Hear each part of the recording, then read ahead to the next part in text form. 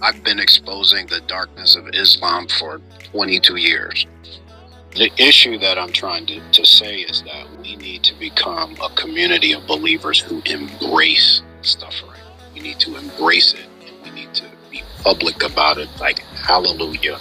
Glory to God, brothers and sisters, members of the body of Christ are willing to die for their faith and to point out that this is a this is part and parcel of the faith in which we are a part of.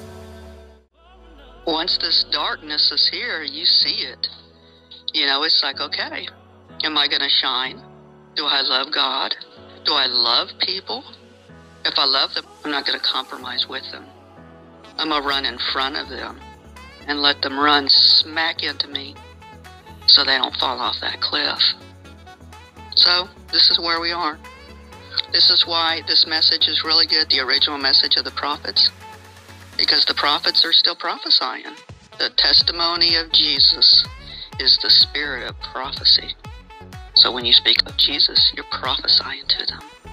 You're letting them know what God did to save all of us. And you can go in any of them. You know, there's all highlights, many, many highlights of the prophets, of Jesus in the prophets beginning at Genesis. Thank you. Well said, Connie. The last message to all nations around the world until the end of time is the gospel of the kingdom. There is no other